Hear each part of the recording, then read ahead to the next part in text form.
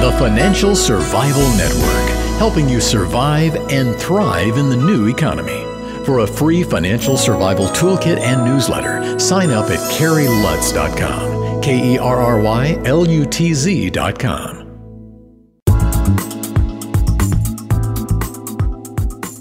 1490 WGCH. This is Kerry Lutz. You're listening to the Financial Survival Network. It's time for another Triple Lutz report.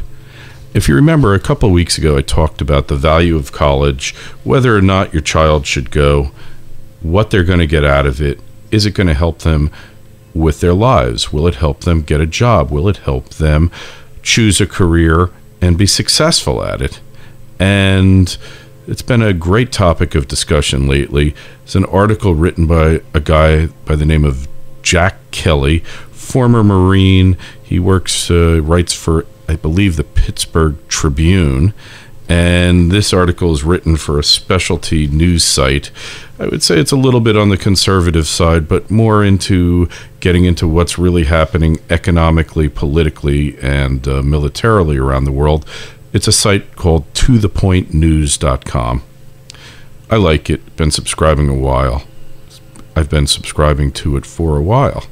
And he talks about an article that appeared in Nation, which, for those of you who are not familiar with Nation, it's about, uh, it's probably to the left of Barack Obama, if that is possible. And there was an article in the uh, November 21st issue, and it's talking about this guy Joe Therrien. He quit his job. He took out $35,000 in student loans to get a master's degree in his passion. Get this, his passion, what he always wanted to do when he grew up, puppetry.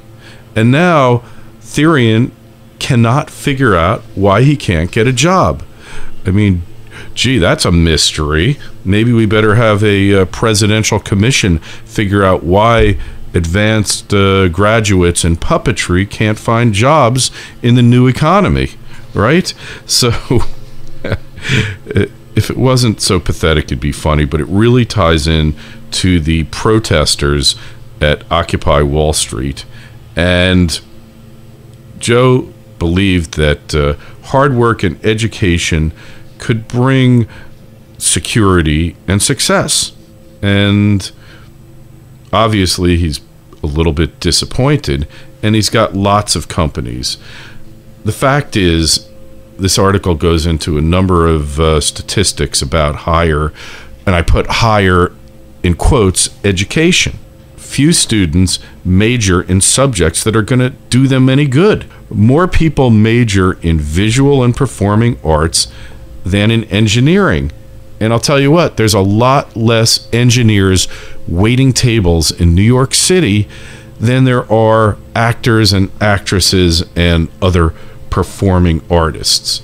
And what happened, this has happened since Vietnam, but it's been escalating because there's been a flood of money from the federal government by virtue of federally guaranteed student loans, grants, state grants, Pell grants. I mean, it's almost as bad as uh, what I was talking about yesterday with all the entitlements to SSI and all that. Except it's worse because these kids can go into hock for hundreds of thousands of dollars. And these are kids that generally don't know how to balance a checkbook. They're real good with credit cards. They can run up debt, but they don't have a clue how to pay it off. Many of them, I don't want to say all, I'm proud to say my kids uh, have just enough credit card debt to keep them employed. But seriously, this flood of federal money, because Congress kept upping and upping and upping the amount that these kids could borrow. And what do the colleges do?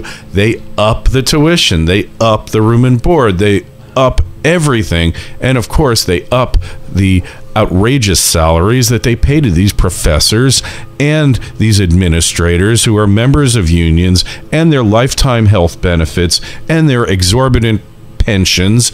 And you get the point. This just became a feeding frenzy on federal dollars. And who gets hurt? The students. Because what happened was these college these colleges responded to this flood of money by adding more and more useless courses and programs that don't prepare students in the basic areas, which is hard sciences and mathematics, not to mention writing. Yeah, there's lots of English majors, but you got crazy courses. We all know about uh, about the sick courses that are often taught in colleges. I won't get into that because uh, it's making me long for the good old days when I was in college, but I didn't really take many of those BS courses. And let's face it, 1,600 majors offered by American colleges and universities. And do you know what the most popular undergraduate major is according to the National Study for Education Statistics? It's business. 16% of graduates, and understand a lot of people that enter college, go into debt, never get that sheepskin that isn't really a sheepskin because they print it on fancy paper now, but 16% graduate with businesses, with a 16% graduate with a business degree. So, what are employers looking for when they're looking to hire? They want someone who can think, problem solver, not a problem creator, not a problem carrier. They want somebody who can communicate clearly and forcefully. Okay? That means speaking and writing. And they expect you to have some basic knowledge of English grammar. You know, no does, dees, dems, and ain't, and uh, whatever. Toity, toid, and toid. They want you to be able to do some math, at least a level high enough so that you can fill out your friggin' expense reimbursement report. They expect you to show up on time. They don't expect tattoos all over your body, and they don't expect you to have piercings sticking out of every orifice, every spot on your face. All right? That's what they expect. You know, they don't teach that in college. Oh, you want a tattoo? You want to, you know, you want to like tattoo your scalp? Great. Uh, that's a freedom of expression. You're going to do great. Don't worry about it. It's really going to be okay. And this is the disconnect between college and the job market. And a guy by the name of Professor Richard Arum did a study, and he studied 24 colleges in those colleges, business students scored the lowest on the college learning assessment, which is a test that assesses writing and reasoning skills. And they also were last on the GMAT exam, which is the entry exam for MBA programs. Obviously, academic quality is going to vary from college to college, but he said it varies inversely with the presence of business education. Now, I think uh, this was said by Richard Vedder. I think that's a little bit unfair. He's at a outfit called the Center for College Affordability and Productivity, so he obviously occupies a closet. Uh, in a really bad neighborhood in uh, Washington, D.C., because nobody wants to know about college affordability and uh, productivity. In fact, they want to hush that up. So the next most popular majors are history and the social sciences. That's 11%. Health sciences, 8%. Education, 6%. And he says uh, most education courses are completely vacuous. Uh, it used to be a good career choice to major in education because this degree is a prerequisite for teaching in public schools where the pay has been uh, outrageous, the benefits even more outrageous, and you can't fire these people even if they can't speak English or teach it or anything else. I mean, they could be in a plastic bubble in the middle of class, you know, passing notes to the students and you still wouldn't be able to get rid of these these parasites. But interesting thing, now that uh, education is getting paid less. Things are changing. Education scores uh, are the lowest on all college entrance exams. And, you know, the fact is, you know, the old saying, those who can do, those who can't teach, those who can't teach, teach teachers. There's a lot of truth to that.